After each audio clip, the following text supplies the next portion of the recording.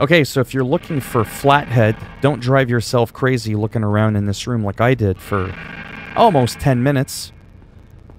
Proceed back over here. Go through this door.